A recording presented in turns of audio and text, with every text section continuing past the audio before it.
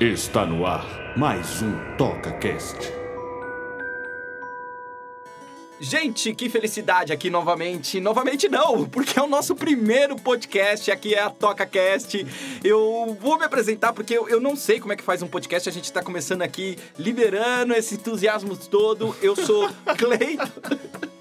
Eu sou Cleiton Heringer, produtor artístico da Toca Livros. Isso mesmo. E aqui ao meu lado está. Juscelino Filho, produtor artístico também, compositor da casa. Ah, o... só para vocês saberem aqui, e hoje a gente tem um convidado para o nosso primeiro podcast que é o. Mário Márcio Félix.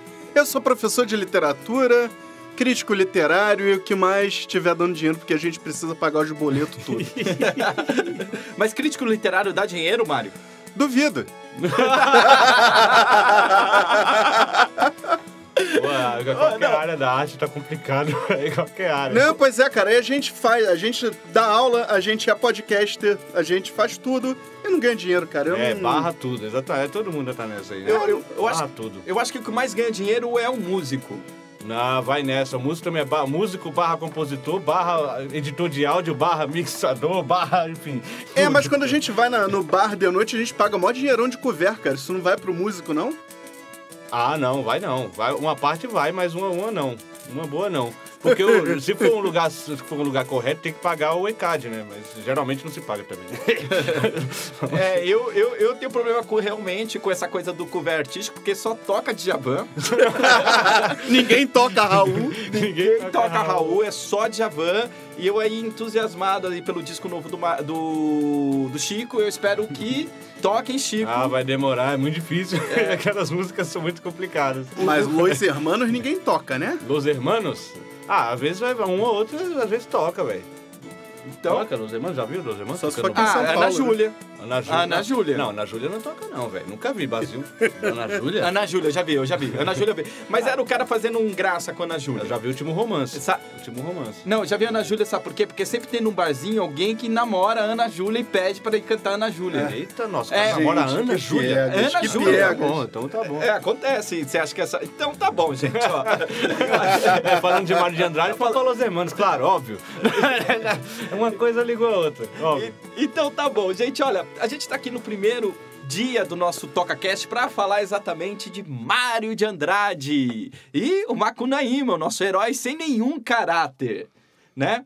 Ah, eu vou dar umas informações básicas rápido, só pra gente saber assim situar quem é Mário Raul Moraes de Andrade. Ele nasceu em São Paulo no dia 9 de outubro de 1893, faleceu em 25 de fevereiro de 45. O cara foi poeta, escritor, crítico literário, musicólogo, folclorista, ensaísta brasileiro. Ensaísta brasileiro, um, um, o, o Félix, é um, um pouco meio crítico literário, né?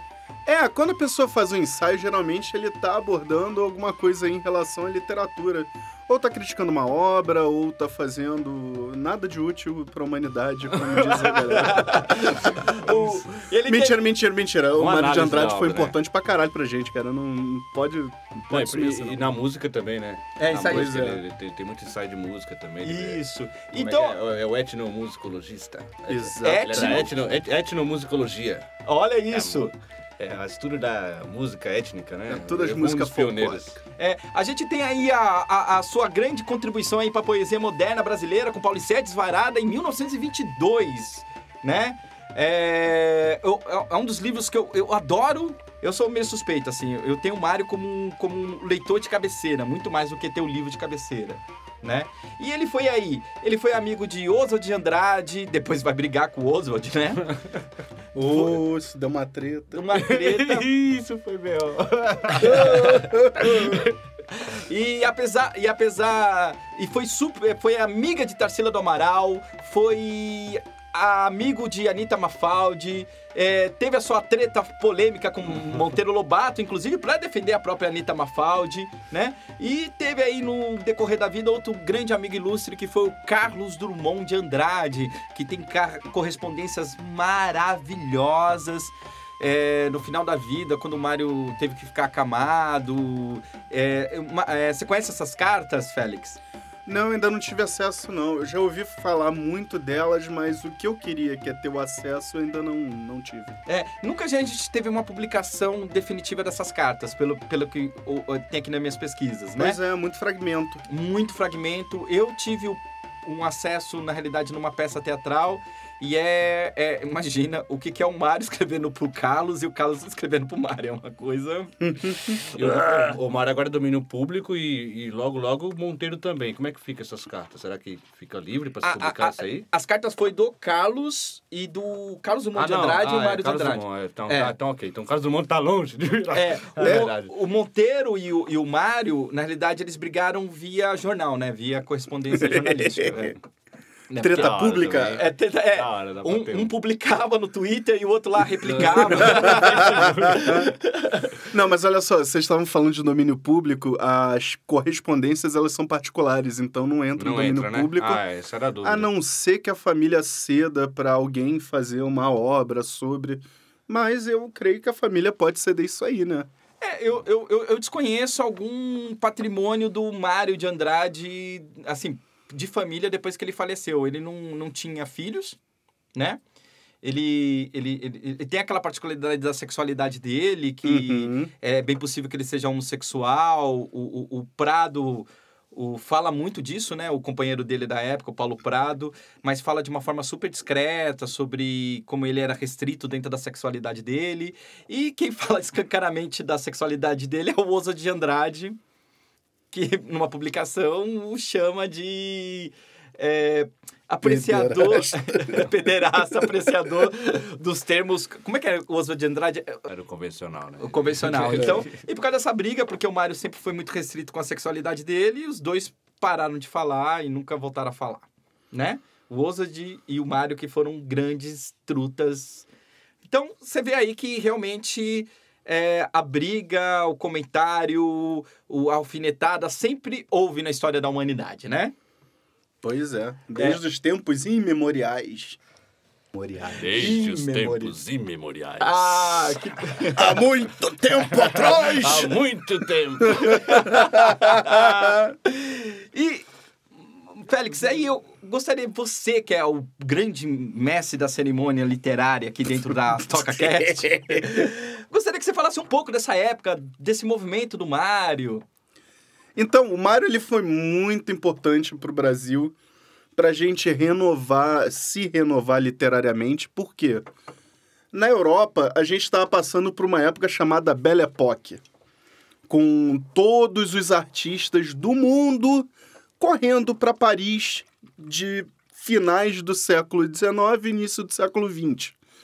Até o próprio Ernest Hemingway, ele tem uma obra chamada Paris é uma Festa, que ele conta essa época onde ele era meio pobrezinho em Paris, correspondente jornalístico, mas ele conhecia todos os figurões da literatura e escrevia também. Então, Mário e o Oswald, eles estavam na Europa nessa época, antes, claro, de, de 22, que foi a Semana de Arte Moderna aqui em São Paulo. Então, eles foram lá buscar o quê? Inspiração nos movimentos que estavam acontecendo, as novas mudanças na arte, o que estava de novo. Então eles recolheram essa inspiração, chegaram no Brasil e falaram: ó, é isso aqui que está acontecendo no mundo, vamos fazer? Então o pessoal foi, foi produzindo, foi produzindo e culminou nessa Semana de Arte Moderna de 22 que, devo falar, deu uma treta. É, a semana é dos três dias, né? Só durou três dias. É, foi de três dias. 15 a 17 de fevereiro de 1922, se eu não me engano. É, olha que coisa engraçada. é, a, a gente em pleno, uma plena época sobre é, é, esse pensamento do que é subvertido dentro do, do universo artístico, proibindo, parando, se manifestando na frente dos museus, das peças teatrais, dos espetáculos, falando, ah, não pode porque vai perverter a moral e os bons costumes da família e principalmente com o tema da pedofilia em voga, né? A gente você pensa que isso é de agora, essa discussão artística? Não, ela é antiga, né? De repente você tem o. o, o, o, o- Começa com Monteiro Lobato atacando a Anitta Mafaldi de uma forma maluca, chamando a, a uma obra subversas de loucos, de manicômio. E você também tem esse momento que impedem a continuação da Semana de Arte Moderna, né? Exatamente. Então, tá aí pra gente refletir um pouco aí, já que se falam tanto o que é subvertido ou, ou subversivo ou não, né? Que, na realidade, a arte sempre incomodou, sempre irá incomodar. E nesse momento de incômodo, vai haver protestos sim, pessoas sem muito juízo nas portas dos museus e manifestações artísticas para impedir que isso ocorra. Não, exatamente. Se a gente for lembrar da Semana de Arte Moderna de 22, o que inaugurou a semana foi aquele poema Os Sapos, do Manuel Bandeira, aonde ele chama a galera da arte vigente na época, os parnasianos, de, de parnasiano aguado e de sapo cururu. Porra, aquilo foi hilário. O, o cara no meio do, do, do no palco declamando o poema vira seu parnasiano aguado. Ah, eu... Não, e, e, tem a famosa cena que o, o, o, aconteceu algo aos pés do, do maestro Vila Lobos. E ele vai tocar de chinelo, né? Vai com seu tia... Na época, imagina, que era totalmente músico clássico, pomposo. De repente aparece aquela figura tocando de chinelo. É pra, é, pra, é pra ferrar, né? Só falta agora me dizer que tinha um cara pelado lá e uma menina menor de 10 anos assistindo. É. É. Foi complicado. e, e aí, o Mário segue e o Mário, o nosso ilustre e bom Mário, escreve que, para mim, é uma das melhores obras da literatura brasileira, que é Macunaíma, o herói sem nenhum caráter. Ai, que preguiça. o, o, o, o Ju que me trouxe uma curiosidade sobre o Ai Que Preguiça, você sabia? O, o Ju vai contar pra gente aqui. É que o Ike já é preguiça em tupi, alguma coisa, alguma língua indígena aí. Então ele fica preguiça duas vezes. Ai, que preguiça. Cara, que da hora. Muito inteligente, né? Nossa, espetacular essa, essa curiosidade. É... Mas será que preguiça preguiça não anula preguiça, cara? Aí, no caso do Macunaíma, não anulou, não. tipo, menos com menos dá mais, então preguiça com é, preguiça caso, ele trabalha. Acho que ele teve preguiça de pensar nessa daí. ah, então, é o Macunaíma. O Macunaíma, o herói de nossa gente, o herói sem nenhum caráter. No fundo do Mato Virgem nasceu Macunaíma, herói de nossa gente. Era preto, retinto, filho do medo da noite.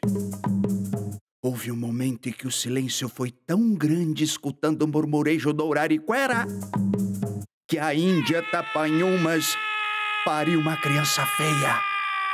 Essa criança é que chamaram de Macunaíma.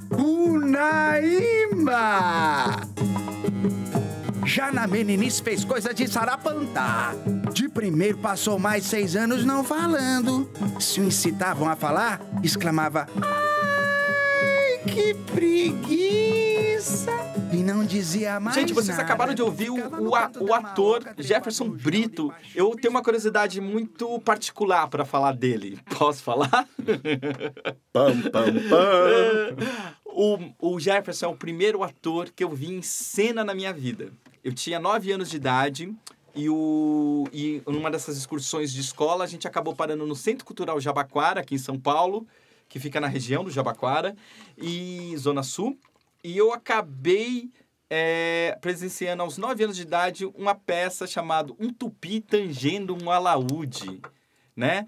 É, o... é engraçado quando eu falo isso daqui, porque tá aqui o nosso técnico fazendo com os dedos, sabe aquela coisa lá atrás? Porque eu, eu sou o mais é. velho da turma. Mas eu acho que ele tá falando que ele passou ago. por isso também, não é? Ele pegou as peças, peças É, é verdade, o nosso... O, Na escola dele ele o passou Rafael, é. essas peças. O Jefferson fez parte também da infância do técnico aqui na casa, Rafael de Falco. e o... E eu, eu, eu, eu vi aquilo, eu não entendi nada. Era, era sobre a vida e a obra do, do Mário de Andrade. É uma peça escrita pelo pelo dramaturgo e senador Zé Carlos de Andrade, que depois veio virar meu professor na Faculdade de Artes Cênicas, que era o coordenador de Artes Cênicas. Olha que coincidência do inferno. Como o Mário foi conduzindo a minha vida, eu não sabia. Todo ano manda um feliz aniversário para todo mundo no Facebook. É. Zé Carlos. É, o Zé Carlos aí. Cartas homéricas. Zé Carlos é um grande estudioso aí das artes cênicas, doutor em artes cênicas pela, acho que pela Universidade de Coimbra. Ele fez aqui em, na USP, depois foi para Coimbra, mas isso não vem ao caso. E eu vi e era inusitado. E ele faz a, o primeiro capítulo inteiro dentro dessa peça do Macunaíma. Ele vai fazendo várias obras, contando a história do Macunaíma, contando um dado super curioso, que ele é o criador do Departamento de Cultura do município de São Paulo, né? Secretaria de Cultura. E, e, e, e no final ele faz o, esse trecho do Macunaíma, que era incrível. E quando eu fui convidado e, e- e estou a trabalho da Toca Livros, e surgiu a oportunidade de montar o Mário de Andrade, o Macunaíma do Mário de Andrade, adivinha qual foi a primeira pessoa que me veio na cabeça? Jefferson Brito. E foi muito fácil encontrá-lo, e ele dá voz e vida para o livro, que é bem legal, né? Você ouviu, né, Mário, o livro? Ô, foi um dos livros, um dos áudios livros mais gostosos que eu já ouvi. Que bacana! Legal, legal. Que bacana! Eu, eu, eu gosto muito também, né? E a particularidade da narração do Jefferson Brito é isso, assim, ele, ele faz na visão do do cara que recebeu através do periquito a história do O cara que recebeu através do periquito. É que no final do no final, ó, spoiler, spoiler, spoiler do Barulho de Andrade, Spoiler, spoiler. spoiler do Bacunaíma, acho que já passou tempo, então não é mais spoiler. Ah, cara, o livro tem quase... Não, tem, spoiler- tem quase 100 anos, velho. Cara, porra. Um spoiler de quase 100 anos. Quase 100 anos. Quase ce- um spoiler centenário. centenário que no final do livro ele conta, olha, foi um passarinho que me contou a história do Macunaíma e sou eu que tô contando a história do livro. Tá aí um trechinho só para vocês ouvirem. Só o papagaio conservava no silêncio as frases e feitos do herói. Tudo ele contou pro homem e depois abriu asa rumo de Lisboa. E o homem sou eu. Minha gente, é! Eu fiquei pra vos contar a história. Por isso que vim aqui, me acocorei em riba dessas folhas, catei meus carrapatos, pontei na violinha e em toque rasgado botei a boca no mundo, cantando na fala impura as frases e os casos de Macunaíma, herói de nossa gente. Tem mais não.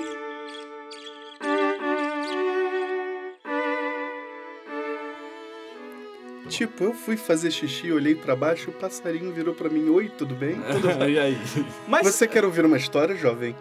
Mas, mas, é, mas tem esse trecho, ó, eu olhei para si. É, foi isso. E ele, e ele tem essa simplicidade, então ele não tenta fazer o, o Macunaíma, ele, ele, ele é o cara contando a história do Macunaíma, mas é muito legal a personalidade. Nossa, a personalidade que ele dá pro Macunaíma, que é um personagem que já foi celebrado dentro do cinema brasileiro através da imagem do... Grande Otelo, né? Do Grande Otelo. E do Paulo José. Ele pode usar. É, porque é o grande Otelo no momento que ele faz antes do Antes banho. do nascimento, né? Antes do banho lá, pra virar branco, e É. depois é o Paulo José. E o- Exatamente. Gente, a escolha do grande Otelo é... o Grande Otelo é espetacular, né? E ficou marcado. Tem gente que você fala Macunaíma, já vê a imagem do Grande Otelo na, na lata, assim, como se fosse real- realmente feito pra ele. Impressionante. Tanto que o primeiro capítulo, é aquele, o grito que quem dá sou eu, é uma homenagem ao grande é, o. Grande Otelo, né? É. O grito do primeiro capítulo. quando ele nascendo. nasce e tal. E, e, e fala aí, fala aí, Mário, um pouco aí do que é a literatura do Macunaíma pra gente, assim. Cara, a literatura do Macunaíma, ele foi o, o fruto do- do- da reunião do conhecimento do Mário de Andrade sobre as lendas e mitos indígenas e folclóricos brasileiros. Mas só que é interessante, o Mário é um cara tão culto que ele pegou todos os mitos indígenas e resolveu contar numa forma grega, que é a rapsódia. Então, Macunaíma é escrito numa forma rapsódica que é uma forma grega para contar aí lendas de deuses e heróis, tudo que é tradição oral. Porque a gente sabe, o, o indígena, ele não manteve uma tradição escrita, é um povo que não privilegia a escrita, então eles passavam as histórias oralmente. Então o fato do papagaio contar a história de Macunaíma e o fato do narrador recontar a história de Macunaíma é, é- é, de novo, você pegando a tradição oral e, e passando adiante. E eu falei periquito. É, papagaio, periquito, é, É, não, cacatua. É, foi um papagaio, agora que eu tô falando. é que eu- é, acho que eu pensei muito em peri- periquito. É, é, é, isso é muito interessante mesmo. O Mário é esse grande pesquisador, né? Que desbravou alguns, alguns lugares do interior e, e, do, e do, do Brasil, né? Desses Brasis. Uhum. E foi, foi recolhendo não só as lendas indígenas, também a musicalidade brasileira. É um absurdo a reunião que Sim. ele faz ali. É, é um E- estudo muito bem feito. Por isso que nesse TocaCast eu quis reunir o Juscelino, que é baiano, o, o Félix, que é carioca, é isso aí. e eu que sou cearense. Pronto. Pronto, a gente uniu os três para falar exatamente dessa multiculturalização brasileira, né? Pois é. É o multiculturalismo, né? Que, que uma coisa bem interessante é eu é, na escola no colegial minha professora de literatura falou que não sabia por que Macunaíma caiu no vestibular, que era um dos piores livros que ela já leu. Ah, Juro pra você, juro, juro, juro. É que é, é, é, é- é muito chato expor as pessoas, mas essa pessoa que começa com si e termina com Mone. ela falou isso, e eu, e na época, e, e é muito louco, né? Porque eu fui até os. Porque aí eu só li Macunaíma com 17. Eu fui até o, dos 15 até o 17 achando que era o pior livro do mundo. Não, um aluno, não sei, eu até não, me surpreendo, mas uma pessoa que né, tá ali para ensinar assombra um pouco, né? Não perceber, pelo menos perceber, né? A, É. a grandeza Não, daquilo. pois é, cara. A pessoa não, não soube ler o livro, apesar de ser um agente especializado. Exatamente. Não, ela falou que era um livro super valo, é, é, é, é, Hipervalorizado, né? hipervalorizado e não tinha esse significado todo que ela entendia o movimento do, da antropofagia, mas não entendia porque esse livro era tão importante. Cara, Mas sabe o que que é, Cleiton? É. Sabe o que, que acontece? Porque esse livro do Mário de Andrade, ele não segue o, o realismo que estava no modernismo. Ele, ele é um pouco distópico, vamos dizer assim. ah, Ele não tem essa verossimilhança, essa, esse, essa necessidade de estar ligado a uma realidade. Ele descamba meio que com, como ele fala de, de índio, ele descamba para mitologia indígena, pô.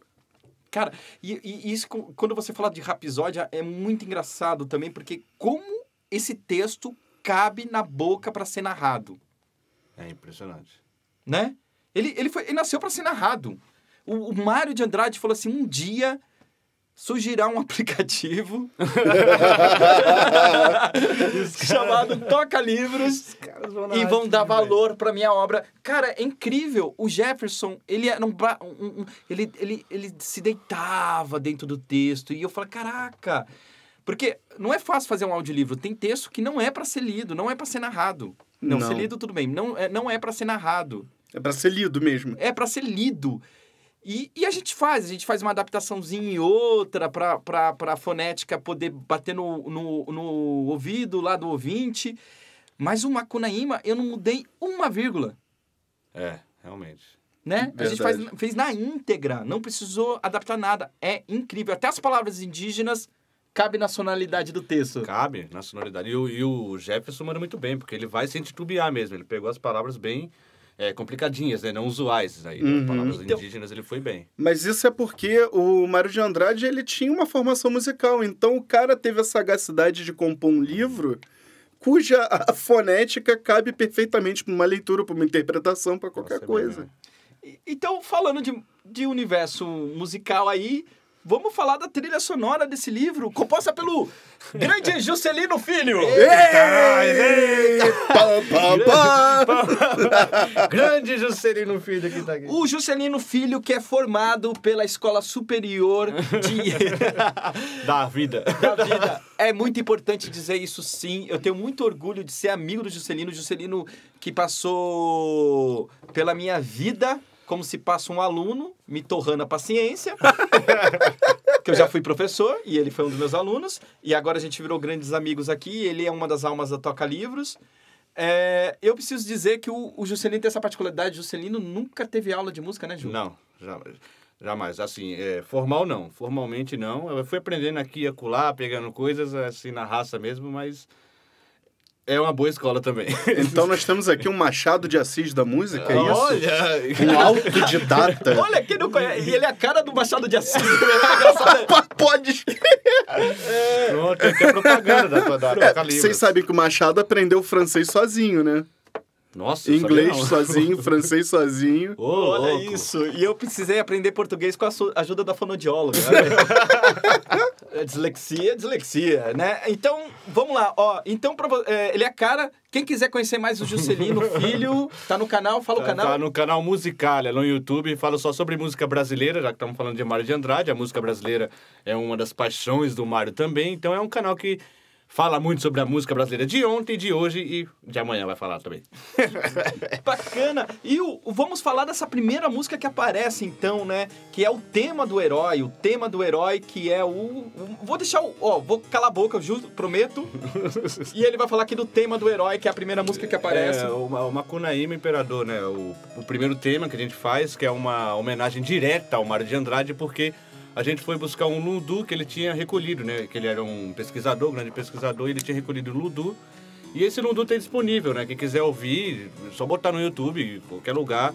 É, Mário de Andrade Ludu, você encontra lá. E a gente pegou a mesma, o mesmo arcabouço para criar essa canção, né? Então a gente foi dando pinceladas que davam lembrança daquele Lundu original dele, mas passava a ser um nosso, né? Como também, é, enfim, é anônimo, é domínio público, essa coisa toda, a gente não teve nenhum problema com direitos. Então é, é uma canção, é um Lundu, né? Feito com cravo, o cravo fazendo a parte harmônica, e na parte harmônica a gente dá essas pinceladas que dão uma lembrança daquela canção recolhida pelo Mário de Andrade. Então é uma homenagem direta que a gente fez aí no Macunaíma, o tema central dele. Sempre que ele faz alguma peripécia, esse, esse é o tema dele. eu, Mas vou ele- te, eu vou te falar, cara, é, o cravo é um dos meus instrumentos favoritos. Eu Ah, é adoro muito o som do cravo. E casa muito bem com esse tipo de, de, de canção, assim. É, é imediato, assim. Eu, eu, eu, eu, eu, eu tenho que falar também de uma coisa que tem dentro do Ludum, que é a parte da percussão, né? Percussiva. Que é, eu, eu acho que essa, essa é a união. Eu, eu, eu, eu posso estar enganado, mas eu não quero estar. Que é essa união do cancioneiro ibérico com, com a música africana, né? Sim. Exatamente. Com essa percussão africana aí, a gente se acha muito que, que, que os povos é, mais da- de, de Angola que trouxeram mais essa musicalidade pra gente, mas a gente sabe que também é uma mistura de outros povos africanos, né? E o, o, o, o- Félix, um dia você fez um comentário que eu achei até legal, que é- é- ainda é polêmico falar que é, é o tipo de música que vai dar origem ao machixe, ao samba, Uhum. Né? Tem, tem uma polêmica muito grande, até a própria feijoada é uma polêmica. Nós temos muita polêmica ainda no nosso passado. Mas você acha que isso é um pouco de não dar o braço a torcer pra essas... É, pra- cara, eu, eu, acho, eu acho que às vezes é um nacionalismo muito extremo, sabe? É Aham. nosso, é nosso, é meu. Mine, my É, precious, all exatamente. mine. Como se não tivesse influências de fora, né? É- Exatamente. totalmente original. Exatamente. Então tá. A gente tem momentos muito mágicos dentro do livro do, do Mário de Andrade. Né? Você tá. O, o Gigue- é, tem- ele tem dois irmãos, né? O Gigue e o Manap. E o Manap é feiticeiro, né? Fora outros, outros tipos de feiticeiros que aparecem, principalmente os casos amorosos do Macunaíma. Mas, cara, co- como o Macunaíma, ele é, é o protótipo do povo brasileiro, Hum. o, o, o Manap, ele é a- o povo africano, ele representa o povo africano, e o Jiguê representa o povo indígena. Ah, muito Olha, que legal. bem. É mesmo. é, muito bem. O, e e nesse, nesse lado a gente tem esse tema, que é o tema mágico. Toda vez que tem uma solução mágica, aparece esse tema. É, Vamos falar da origem dessa música, você lembra Ah, o disso? tema mágico? O, te- o tema mágico é, é exatamente aquele, Ju, que eu vou lembrar pra você, que eu aconselhei pra você ouvir. Uma música da, do Candomblé e da Umbanda, que é Eu caminhava a pé. Não, então é exatamente ela. É, é, É exata- exatamente ela. Era exatamente É ela. por isso que eu tava lembrando. É Cigana de Fé, se eu não me engano. Isso! Hum. A Cigana de Fé foi que a gente realmente é, colocou numa flauta, uma flauta africana, né? E a gente fez a melodia, essa é a melodia inteiramente do Cigana de Fé. É mesmo? Ela é, ela é inte- integralmente essa, essa canção do candomblé. Que maneiro, cara. Falar de Macunaíma tem que falar da safadeza do Macunaíma, né? Porque ele usava até uma, uma, uma denominação pra sexo, que era brincar. Brincar, adoro isso. É, vamos, vamos brincar! Vamos Eu- brincar, nossa, é vamos muito brin- bom, né? A E- metáfora. É, e, e ele era uma pessoa bem liberta, sexualmente falando. Na realidade, ele queria traçar todo mundo, né? Não- e não importava se era a esposa, a esposa do mano, a esposa do amigo, a esposa do, cap- do caperoto, não interessa. Ele queria, ele tinha essa, essa verve, essa sexualidade muito aflorada e de uma forma muito positiva, né? Não é uma forma invasiva. Isso que é muito legal dentro do, do Mário de Andrade. O, o sexo não é pra, pra subverter nada. Ele é apenas o, o, o- traço. O traço de contato entre essas pessoas e, e a rede, né? Putas. Significado de transar na rede. Já transou na rede aí, ô Félix? Olha, cara, não. é- eu tô com três dígitos. Se eu, eu vou transar na rede. é, Não dá, não dá, não dá. Eu, eu sou cearense, né? Você sabe que a gente é feito e a gente faz na rede. É, só tem que tomar cuidado porque ele dá 360. A gravidade não ajuda, né? Aí você vira aquela bananinha, aquela bananada enroladinha, né? Ó, que- então, É interessante falar da rede do Nordeste, tudo, porque esse tema flerta muito com o Nordeste, né? É, é um... Tem um, um- um lance de arrastapé, tem um lance mais quase que um forrozinho na batida, tum, tum, tá, tum, tum, tá, tum, tum. E a flauta, que sempre repete essa flauta, que é a flauta, a mesma flauta africana que eu utilizei é, na canção anterior. Então tem aqui é, o indígena com, com basicamente o, o Nordeste, a África, tentando trazer esses elementos dessa, desse povo todo aí, né? e bacana. Eu vou passar por um tema bem bacana também, porque tem um momento que o, o, o Mário, ele encontra um rio chorando, né? Na realidade é uma índia que virou rio e ela tá chorando. Isso. Aí nada melhor do que lembrar do rio do que lembrar Mamãe Oxum, né? A canção Mamãe Oxum. Mas essa canção aqui a gente fez, o Mamãe Oxum também é uma canção é, candomblé? Ou... É, da, é, é uma É mistura, Umbanda, candomblé, candomblé. Umbanda, Banda, é, né? Um banda, candomblé e o Mamãe Oxum.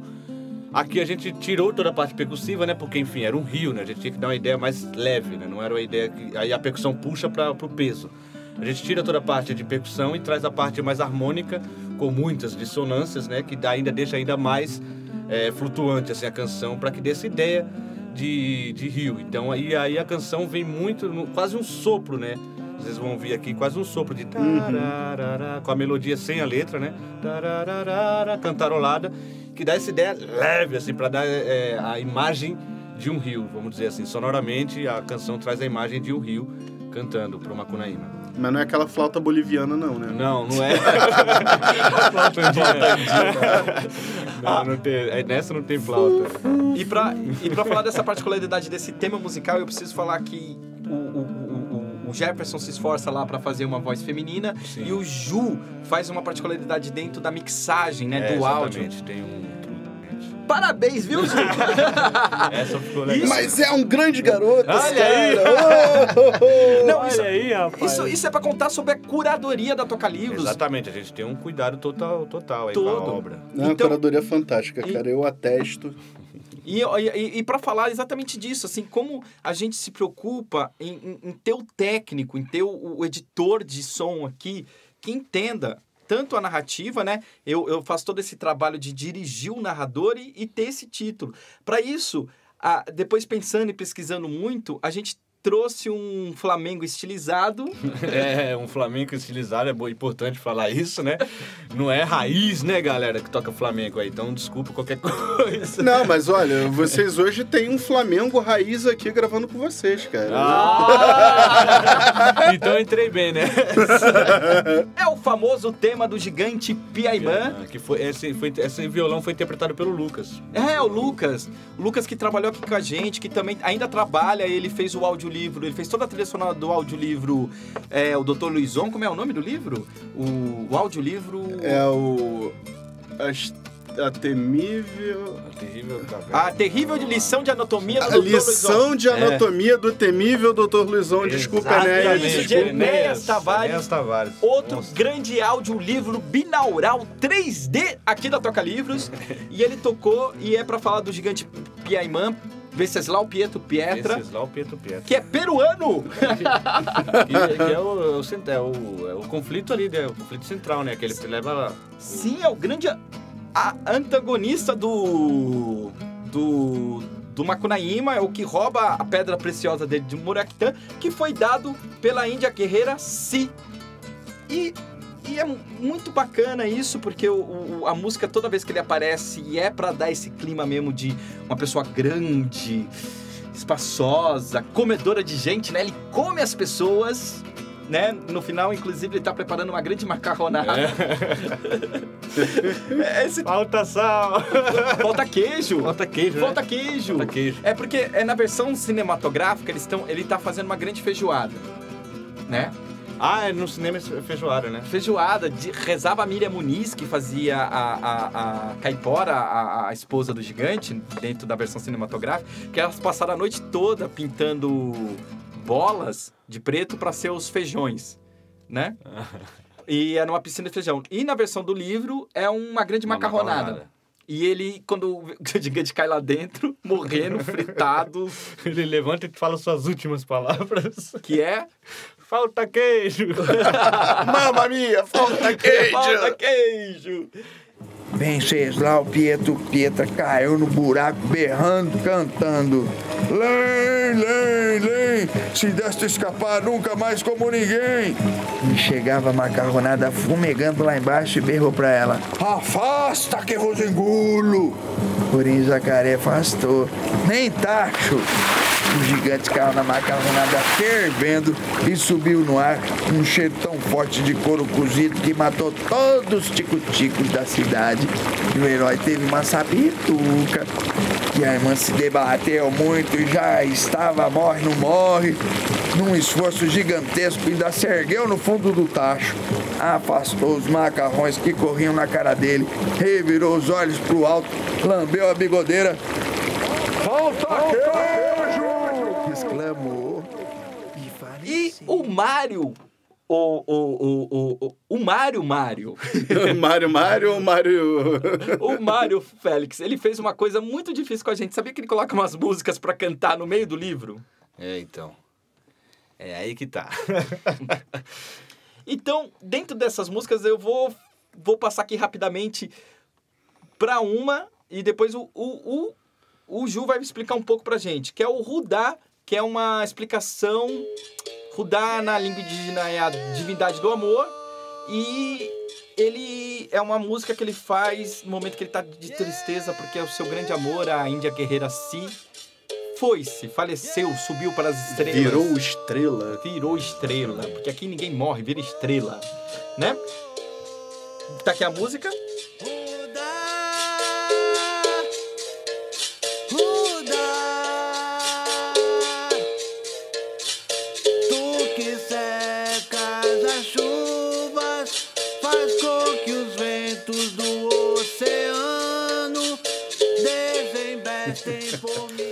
Essa eu preciso dizer, na realidade foi eu que trouxe pra você, né? Foi, foi. Porque eu lutei capoeira durante muito tempo na Cordão de Ouro do mestre Suassuna. E o mestre Suassuna tinha uma particularidade muito importante dentro dos- das academias de capoeira, que era preservar a cultura brasileira. Não importa onde você vá no mundo, você encontrou uma cordão de ouro. Na Espanha, Israel, no Japão, você vai entrar e as pessoas estão cantando em português. Ele celebra a cultura brasileira na sua maior forma, principalmente na capoeira, que é uma arte brasileira. E aqui vocês ouvem ao som do berimbau o Juscelino Filho cantando, que é um São Bento Pequeno. Isso é um estilo de capoeira, de música de capoeira chamado São Bento Pequeno, né? Que é só no berimbau. E para isso, é, eu gostaria que você falasse o que que foi fazer essas músicas pro Ah, foi espetacular, né? Porque, enfim, eh, o Mário de Andrade, óbvio, né? Tinha que ser um grande letrista. E nessa canção aqui é muito legal, que é muito irônico, porque uma- é uma canção triste, é uma canção verdadeira, é um lamento, mas na real, ele tá falando, Rudá, eu quero a imagem dela refletida na água pra eu comer ela. então é espetacular, tem. É verdade, olha que bonito, que, é- bonito, que é- né?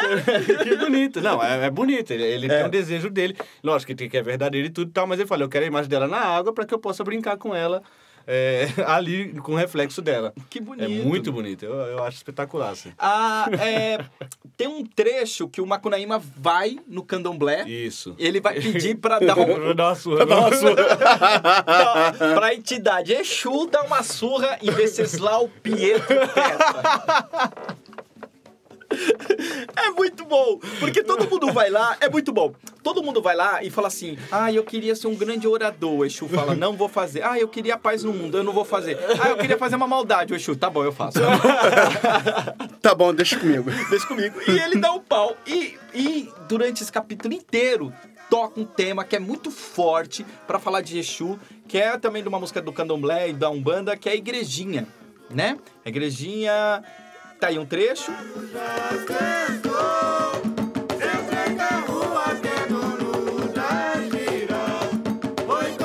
Gente, vocês estão ouvindo.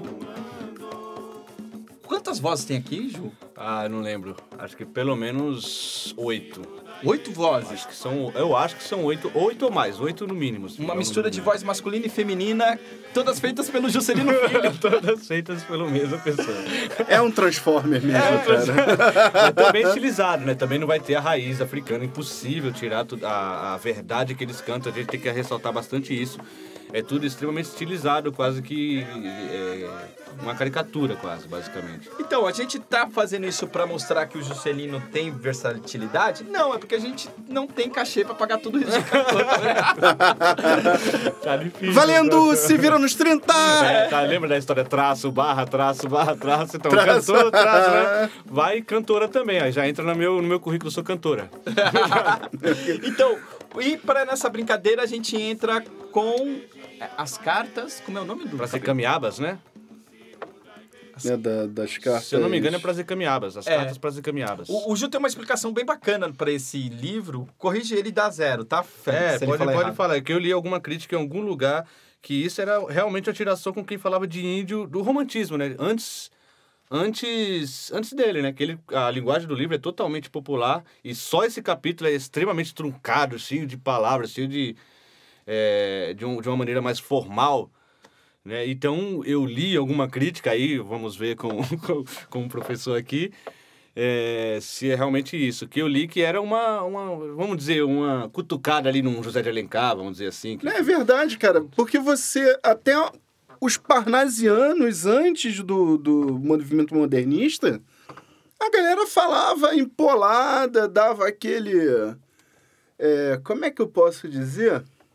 Ah, por favor, dê-me um copo d'água. Ou dê-me um copo d'água por obsequio, que eu desejo sanar a minha sede.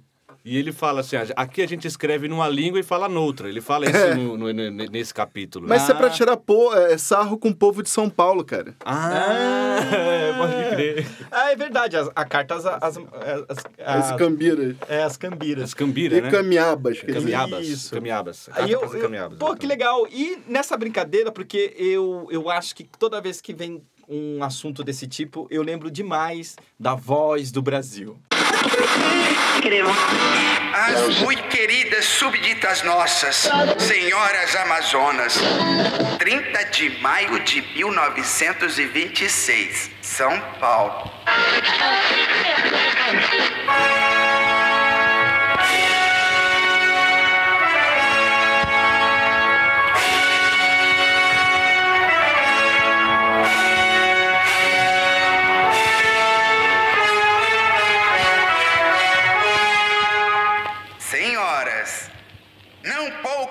¡Pum!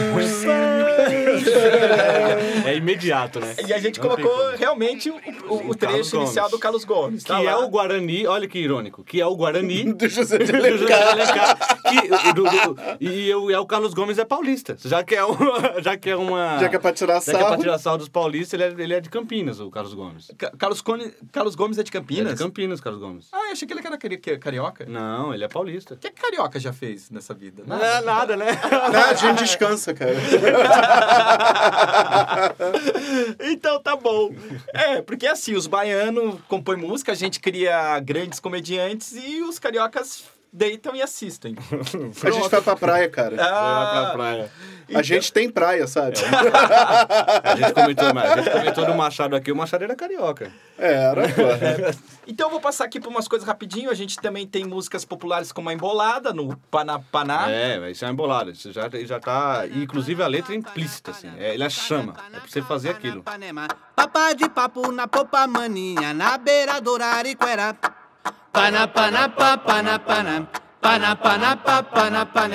Papá de papo na popa, Tem maninha. na show beira passarinho com a voz da Paola. Com- É, a Paola Molinari emprestou a voz dela. Nossa, eu precisava de uma voz feminina muito melancólica. E ela mandou muito bem nessa daqui. Quem que quiser conhecer Paola Molinari, baixa o audiolivro Reinações de Narizinho. Ela tá lá, ela faz a melhor Emília que eu já ouvi na minha vida. É muito boa. É muito engraçado, gente. Tem que ouvir esse audiolivro.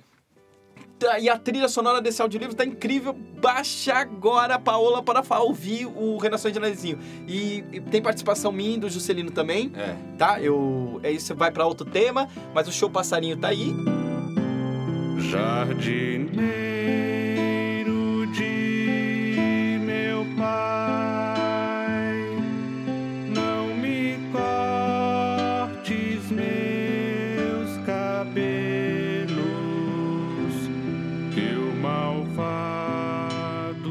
malvado. É um lamento sertanejo, Juscelino? Isso, é um lamento sertanejo, sim, não deixa de ser. Tem todos os elementos sertanejos, tem um, a gente não tem viola, né? Então eu tive que fazer no violão mesmo, algumas acordes simulando viola e sanfona. E é bem lamento sertanejo mesmo, assim, bem uma canção talvez de saudade, vamos dizer assim. E ela é uma canção de roda mesmo, assim. essas canções elas meio que existem. Essa daí eu tive que buscar até a partitura dela, lembra? O show passado a gente teve que buscar a partitura, transcrever pra... Passarinho, show, passarinho. Ah, tem essa, tem essa particularidade. Nem todas as músicas a gente trouxe de fora. Ela É, existe. elas existem e nem todas a gente conseguiu, inclusive. Então, qual- se alguém souber, desculpa, qualquer coisa, se alguém souber se alguma já existia e a gente fez uma outra versão. Mas o- o- o- os bois existiam. Os bois existiam, essa foi mais tranquilo pra gente fazer. Todos os temas dos bois, o meu boi morreu, nananã, isso aí a gente tinha melodia, letra, tinha tudo, então essas foram mais fiéis, vamos dizer dessa forma. Dá um adeus pra toda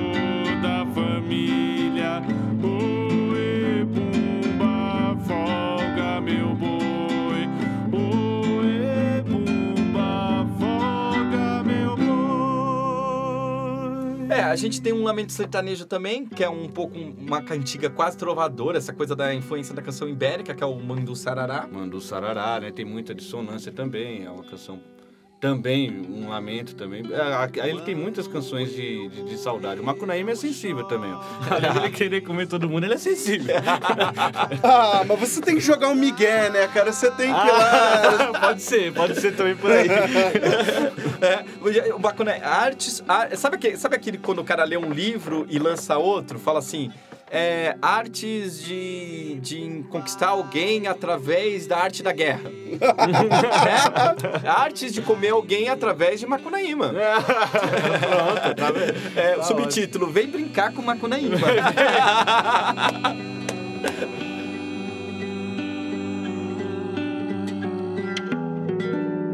Papai chegou e me disse: Não has de ter um.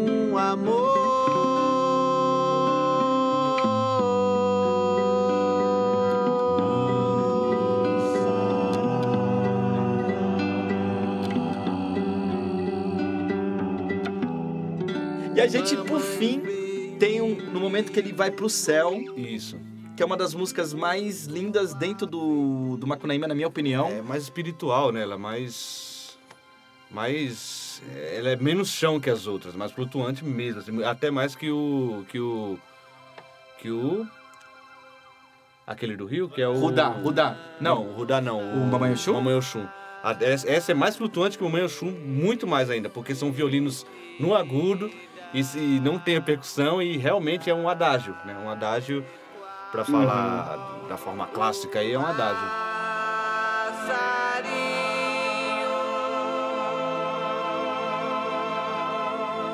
bateu asa, foi-se embora, deixou a pena no ninho. É, quando. É, finalmente quando o Macunaíma, Macu- Macunaíma cansado da guerra. É, da terra. Cansado da guerra, pô. Batalhou aonde? cansado, cansado da Terra, do planeta Terra, de viver nesse meio, né? Depois também que ele foi metade devorado pela Yara, né? Exatamente. É, tem uma música muito legal que tá tocando agora. É, essa música é, é a Iemanjá estilizada, né? Isso. É outra música do Candomblé da Umbanda, que é o... É, Ie- Iemanjá, rainha das ondas sereia do mar. Mas é bem mais estilizado. Foi Feito, estilizado. feito com clarinetes. né? É. Clarinetes. Eu pensei que ele ia mandar um Stairway to Heaven, sabe? e ele sobe lá, e é lá sem uma perna, sem, os cocos da Bahia. Isso é Seus muito legal. cocos da Bahia. Porque tem esse famo a famo- famosa cena, né? Que A ele, famosa cena. que ele, ele, ele é enganado pelo morador de rua e ele, ele estoura os ovinhos dele. É, o macaquinho engana ele. o macaquinho engana ele. É um macaquinho, né? É Mas o macaquinho. quando ele perde as bolas do saco, a moça do. a dona do, da pousada consegue costurar com dois cocos da Bahia, né? Pois é. Cara, dá pra imaginar alguém carregando dois cocos no lugar do saco? é elefantise, né? Essa canção é utilizada algumas vezes no livro. Essa, ela tem uma parte sem letra e com letra, né? Que a, a despedida dele tá com letra. Ele canta, porque tem, o Mário botou a letra lá. Ele canta a despedida dele, vamos dar a despedida, tal e qual o passarinho. E na despedida da Si, quando a Si também morre, é a mesma canção, só que sem letra. Que bacana. E, e- e, Félix, assim, depois de a gente explicar um pouco sobre a trilha sonora, sobre o Jefferson, que é um grande ator aí narrando, qual foi essa sua sensação de ouvir o, o, o Macunaíma? Ouvir, né? Ouvir. Finalmente uma obra em audiolivro. A gente tem outros áudios, audiolivros do Macunaíma aí, mas é só narrado e de uma forma bem acadêmica. Eu não, eu não posso dizer outra coisa que não seja isso, porque narrado corretamente, sem É interpretação. uma leitura branca, né? Isso. E qual foi a sua, a sua sensação aí de ouvir um audiolivro do Macunaíma pela Toca Livros? Olha, cara, antes de conhecer a Toca Livros, eu tinha um preconceito enorme com audiolivro. Eu era aquele cara chato, purista, falando, nossa, vai botar o audiolivro, vai matar o livro físico. Mas eu me surpreendi muito, foi um livro muito gostoso de se ouvir, por, justamente pela interpretação, pela trilha sonora, pelo cuidado da curadoria da Toca Livros em fechar um produto redondo, respeitando o autor, respeitando a ideia do autor, o princípio modernista do Mário, só que colocando o toque atual, um, um toque pra frente, porque você pega todo o material e fala: não, gente, isso aqui tá chato, tá chato, toma isso aqui, ouve, vai. E depois disso eu comecei uma cruzada de colocar o audiolivro na minha sala de aula, nas coisas que eu faço, porque vale muito a pena. Vale muito a pena para você apreciar a obra que foi feita com cuidado, sabe? Não é você contratou um cara e toma lá, vai lá, lê isso aí. E não sei se eu posso falar mal de gente famosa. Posso falar mal de gente famosa? Pode, pode sim. Então, falando mal do Rafael Cortez, Ah. tem um livro dele que ele, um livro dele não, um livro do Machado que ele leu, que foi o Dom Casmurro que eu achei tão sonolento. Essa não é produção da Toca Livros. Gente... Deixar bem claro, é, porque a gente, quando começou a Toca Livros, a gente precisava receber o maior número, quantidade de áudio, audiolivros já produzido por aí. E esse é uma produção de fora, né? Eu, eu, eu dificilmente eu gosto de comparar, mas a ideia da, da Toca Livros, é quando é produção nossa, é exatamente isso. É ser uma história para todos Exatamente. né? E, e, e, e eu acredito que eu ainda não ouvi esse audiolivro, apesar de estar aqui dentro do aplicativo. Mas eu, eu- Pode ser, pode ser sim, porque antigamente, antes da Toca Livros, o audiolivro aqui era considerado uma repetição da leitura branca de alguém. Só isso. E ponto final. Não, e teve uma coisa feia também que em vez de pegar é, no meio do livro ele, em vez de falar, ah, se não achar outro até o final deste livro, vai o que tem. Aí o Rafa Cortez, se não achar outro até o final deste audiolivro, tipo, tirou, tirou experiência, cara. É, eu entendi, eu entendi. Eu, é, é uma coisa de se pensar, a gente aqui na Toca Livros tem essa preocupação, né? Tem, é, mas é, é essa coisa, o audiolivro ele tem que ser experimentado, experimentado, insistido, né? Ouvir é uma, uma particularidade muito grande, é um treinamento.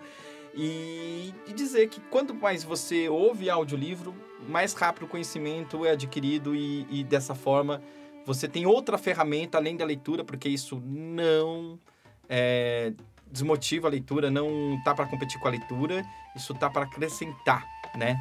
Não, pois é, cara, porque você pega hoje em dia a vida do sujeito numa pós-modernidade. O cara não tem tempo nem pra ir no banheiro. O cara vai ao banheiro com, com o celular na mão respondendo e-mail da empresa. O moleque sai da escola, ele tem que ir pro curso de inglês, depois vai pro curso de, sei lá, balé clássico, depois vai pra aula de natação e termina o dia num cursinho de inglês. Ou no jiu-jitsu, sei lá. Pô, o moleque tem que estudar. A pessoa tem que, tem, tem que exercer o seu prazer, né? Em vez de você caminhar com um livro pesado na mochila que vai ficar lá jogado, coloca o fone no ouvido, escuta. É divertido, é muito bom e ajuda até quem tem dislexia. Eu tenho comprovado isso em sala de aula, cara. O moleque tem dislexia, o moleque pega o audiolivro e ele fala: Nossa, professor, que história bacana. E pronto, eu ganhei um leitor. Ou um áudio leitor, sei lá. Que bacana. Então, gente, fica a dica aí. Toca Livros aí é uma história para todos. Félix, brigadão pela visita. Pô, eu que agradeço, cara. É sempre bom vir aqui na toca. Ah, que bom. É, a gente vai estar aqui em outros programas, sempre com a minha presença ou a presença ilustre de Juscelino Filho. Eita! Vai que eu volto de novo. E, e Toca Livros é isso, né? Trazendo vida a seus livros. E até a próxima. Falou, galera. Até a próxima. A gente volta logo. Falou, galera. Um abração.